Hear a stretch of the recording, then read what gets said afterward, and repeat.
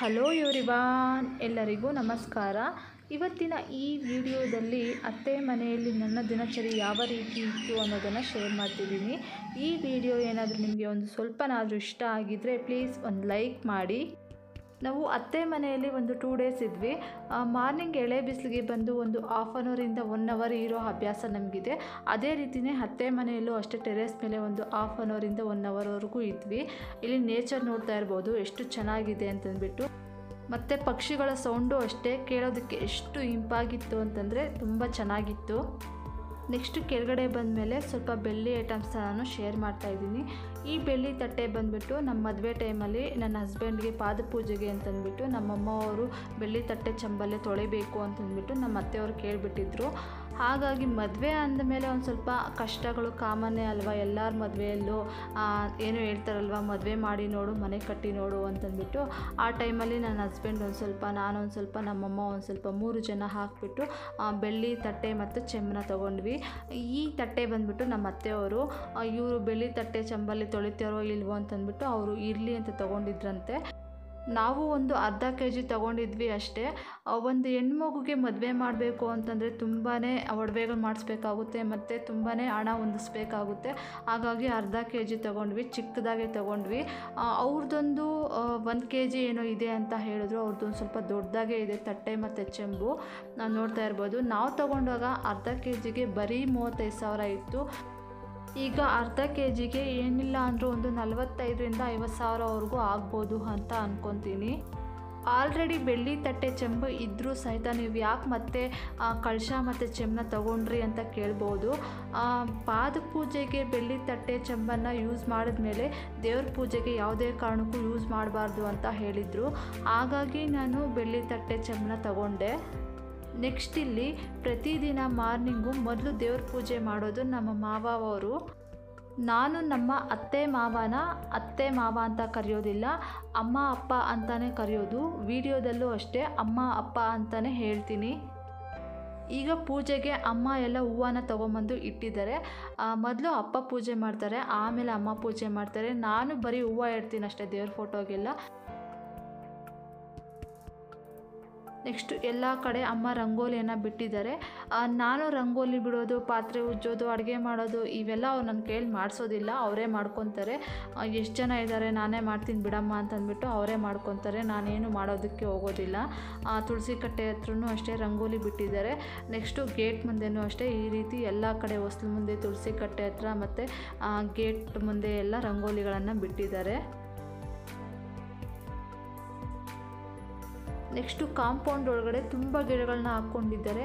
ಪೂಜೆಗಾಗುವಷ್ಟು ಹೂಗಳು ಇಲ್ಲೇ ಸಿಗುತ್ತೆ. ಕೊಂಡ್ಕೊಂಡು ಬರೋ ಅವಶ್ಯಕತೆಯೇ ಇರೋದಿಲ್ಲ. ಮತ್ತು ಬೆಂಗಳೂರಿಗೆ ಬಂದಾಗೂ ಅಷ್ಟೇ ತೊಗೊಂಬರ್ತಾ ಇರ್ತಾರೆ. ನಾನು ಹೋದಾಗೂ ಅಷ್ಟೇ, ಸ್ವಲ್ಪ ಹೂಗಳನ್ನು ಕಿತ್ಕೊಂಡು ಬರ್ತಾ ಇರ್ತೀನಿ ಪೂಜೆಗಾಗುವಷ್ಟು. ತುಂಬ ಗಿಡಗಳನ್ನ ಹಾಕ್ಕೊಂಡಿದ್ದಾರೆ. ಕೆಂಪು ದಾಸವಾಳ ಗಿಡ ಹಾಕ್ಕೊಂಡಿದ್ದಾರೆ. ಮತ್ತು ಇಲ್ಲಿ ಡೇರಾ ಹೂವು ಹಾಕ್ಕೊಂಡಿದ್ದಾರೆ. ಇದು ತೊಗೊಂಬಂದು ಇಟ್ಟಿದ್ದಾರೆ ಪೂಜೆಗೆ ಅಂತಂದ್ಬಿಟ್ಟು. ಆಗಲೇ ತೋರಿಸ್ದೆ ನಾನು. ಈ ರೀತಿ ಇನ್ನೂ ಮೊಗ್ಗಿದೆ, ತುಂಬ ಮೊಗ್ಗಿದೆ ನೋಡ್ತಾ ಇರ್ಬೋದು. ಮತ್ತು ರುದ್ರಾಕ್ಷಿ ಗಿಡ ಇದೆ. ನೆಕ್ಸ್ಟ್ ಇಲ್ಲಿ ವೈಟ್ ಸೇವಂತಿಗೆ ನೋಡ್ತಾ ಇರ್ಬೋದು. ಎಷ್ಟೊಂದು ಹೂವು ಬಿಟ್ಟಿದೆ ಅಂತಂದ್ಬಿಟ್ಟು ನೆಕ್ಸ್ಟ್ ಇದು ನಂದಿ ಬಟ್ಲು ಗಿಡ ಅಂತಂದ್ಬಿಟ್ಟು ಇದರಲ್ಲೂ ಅಷ್ಟೇ ಹೂವು ಬರ್ತಾ ಇರುತ್ತೆ. ಮತ್ತು ಇದು ಶೋ ಗಿಡ. ಇದು ದೇವ್ರ ಪೂಜೆಗೆ ಏನು ಯೂಸ್ ಮಾಡಲ್ಲ. ಮತ್ತು ಇದು ಮತ್ತೆ ವೈಟ್ ಸೇವಂತಿಗೆ ತುಂಬ ಮಗ್ಗಿದೆ ನೋಡ್ತಾ ಇರ್ಬೋದು. ವಿಭೂತಿ ಗಿಡ ಮತ್ತು ತುಂಬೆ ಗಿಡ ಈ ರೀತಿ ತುಂಬ ಗಿಡಗಳಿದೆ. ನೆಕ್ಸ್ಟು ಒಂದು ತೊಗರಿ ಗಿಡನ ಹಾಕ್ಕೊಂಡಿದ್ದಾರೆ. ಇದರಲ್ಲೂ ಅಷ್ಟೇ ತುಂಬ ಕಾಯಿ ಬಿಟ್ಟಿದೆ. ಇದರಲ್ಲಿ ಕಿತ್ಕೊಂಡು ಈಗ ಪಲಾವ್ಗೇನೋ ಹಾಕಿದ್ದಾರೆ ಕಾಳನ್ನು. ಮತ್ತು ಈ ಗಿಡ ಬಂದು ಶೋ ಗಿಡ. ದೇವ್ರ ಪೂಜೆಗೆ ಏನು ಯೂಸ್ ಮಾಡೋದಿಲ್ಲ ಈ ಹೂಗಳನ್ನು. ಶೋಗಂತ ಬಿಟ್ಬಿಟ್ಟಿದ್ದಾರೆ. ನೆಕ್ಸ್ಟು ಈ ದೊಡ್ಡ ಗಿಡ ಬಂದ್ಬಿಟ್ಟು ಓಂಬತ್ತಿ ಗಿಡ ಅಂತಾರೆ. ಈ ಗಿಡದ ಹೂವು ಬಂದ್ಬಿಟ್ಟು ಶಿವಪ್ಪಗೆ ತುಂಬ ಇಷ್ಟ ಅಂತೆ. ಈ ಹೂವನ್ನು ದೇವ್ರ ಪೂಜೆಗೆ ಅಂತ ಏನು ಇಡೋದಿಲ್ಲ.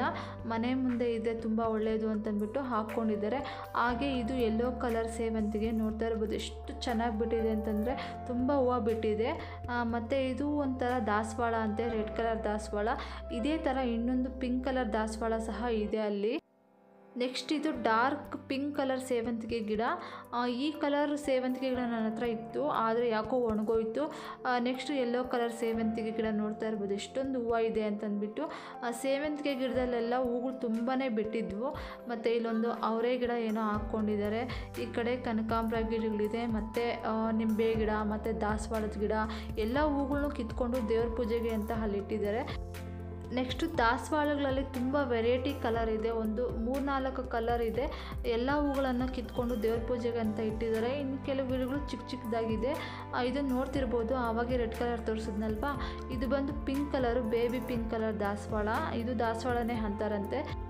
ಮತ್ತು ಇದು ಸನ್ನಿ ಗಿಡ ಅಂತಂದ್ಬಿಟ್ಟು ಮಕ್ಕಳಾದ ಮೇಲೆ ಇದು ಕೆಲವರಿಗೆ ಬಾಳಂತನದಲ್ಲಿ ಸನ್ನಿ ಅಂತ ಬರುತ್ತಂತೆ. ಆವಾಗ ಈ ಒಂದು ಎಲೆಗಳನ್ನ ಕಿತ್ಕೊಂಡೋಗಿ ತಿನ್ನೋದ್ರಿಂದ ಆ ಸನ್ನಿ ಹೋಗುತ್ತೆ ಅಂತಂದ್ಬಿಟ್ಟು ಇದು ಇಲ್ಲಿ ಯಾರಿಗಾದರೂ ಬೇಕಾಗುತ್ತೆ ಅಂತ ಹಾಕ್ಕೊಂಡಿದ್ದಾರೆ. ನೆಕ್ಸ್ಟು ಈ ಗಿಡನೂ ಒಂದು ಔಷಧಿ ಗಿಡನೇ ಅಂತೆ. ಮೂಳೆಗಳ ಸವಿತ ಏನಾದರೂ ಆಗಿದ್ದರೆ ಈ ಗಿಡದ ಕೊಂಬೆಗಳನ್ನು ತಗೊಂಡೋಗಿ ಅದನ್ನ ಚೆನ್ನಾಗಿ ತೊಳ್ಕೊಂಡು ಒಂದು ಸ್ವಲ್ಪ ಸಿಪ್ಪೆ ಥರ ಬರುತ್ತಂತೆ. ಅದನ್ನು ತೆಗೆದುಬಿಟ್ಟು ಚಟ್ನಿ ಮಾಡಿಕೊಂಡು ದಿನ ದಿನ ತಿಂತಾ ಇದ್ದರೆ ಮೂಳೆಗಳ ಸವಿತ ಹೊರಟೋಗುತ್ತೆ ಅಂತ ಹೇಳ್ತಾರೆ. ನೆಕ್ಸ್ಟು ಈ ಗಿಡ ಬಂದು ಕಿಡ್ನಿಯಲ್ಲಿ ಏನಾದರೂ ಸ್ಟೋನ್ ಏನಾದರೂ ಇತ್ತು ಅಂತಂದರೆ ಈ ಗಿಡದ ಎಲೆಗಳನ್ನು ತಿನ್ನೋದ್ರಿಂದ ಆ ಸ್ಟೋನ್ ಕರಗುತ್ತಂತೆ. ನೆಕ್ಸ್ಟ್ ಅಮ್ಮ ಬೆಳಗಿನ ತಿಂಡಿಗೆ ಪಲಾವ್ ಮಾಡ್ತಿದ್ದಾರೆ.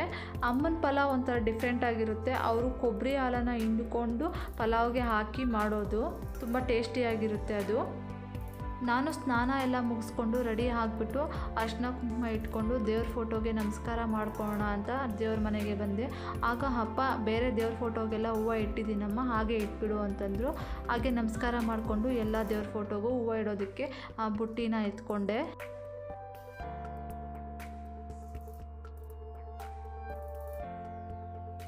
ಇಲ್ಲಿ ನೋಡ್ತಾ ಇರ್ಬೋದು ಆರೆಂಜ್ ಕಲರ್ ದಾಸವಾಳ ಎಷ್ಟು ಚೆನ್ನಾಗಿದೆ ಅಂತ ಅಂದ್ಬಿಟ್ಟು ಮತ್ತು ನೀವು ಕೇಳ್ಬೋದು ಕೈಯಲ್ಲಿ ಗಾಯ ಏನು ಅಂತ ಅಂದ್ಬಿಟ್ಟು ಸೋಮವಾರ ಊರಿಗೆ ಹೋಗುವ ಗಡಿಬಿಡಿಯಲ್ಲಿ ಕುಕ್ಕರ್ ಅಬೆ ತಗಲ್ಬಿಡ್ತು. ನೆಕ್ಸ್ಟು ದೇವ್ರ ಫೋಟೋಸ್ಗೆಲ್ಲ ಹೂವು ಇಟ್ಟಾದಮೇಲೆ ಅತ್ತೆ ಟಿಫನ್ ಸಹ ರೆಡಿ ಮಾಡಿದರು ಪಲಾವ್ ಮಾಡಿದರು. ತೊಗರಿಕಾಳು ಹಾಕ್ಬಿಟ್ಟು ಆ, ಪಲಾವ್ ಮಾಡಿ ರೆಡಿ ಮಾಡಿ ಇಟ್ಟಿದ್ರು ಅಲ್ಲಿ ತಿನ್ನೋದಕ್ಕೋಸ್ಕರ.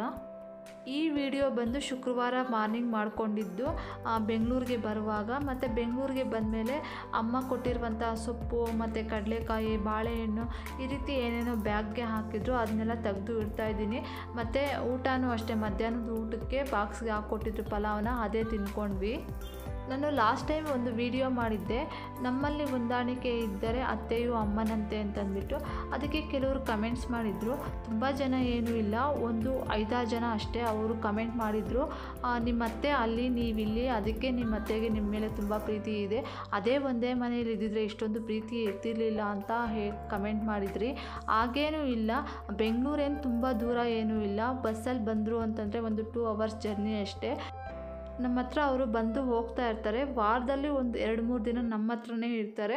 ಅವಾಗೆಲ್ಲ ಬರೋದಿಲ್ವಾ ಮಾತುಕತೆ ಅಂದಮೇಲೆ ಆದರೆ ನಾವೇ ಅನುಸರಿಸ್ಕೊಂಡು ಹೋಗಬೇಕು. ಅವರ ನಾವ ಅಂತ ನಿಂತ್ಕೊಂಡ್ರೆ ಮನೇಲಿ ನೆಮ್ಮದಿ ಇರೋದಿಲ್ಲ. ಇದಾಗಿತ್ತು ಇವತ್ತಿನ ಈ ವಿಡಿಯೋ. ಈ ವಿಡಿಯೋ ಏನಾದರೂ ನಿಮಗೆ ಒಂದು ಸ್ವಲ್ಪನಾದರೂ ಇಷ್ಟ ಆಗಿದರೆ please do like share comment and subscribe to my channel thank you for watching my video have a nice day bye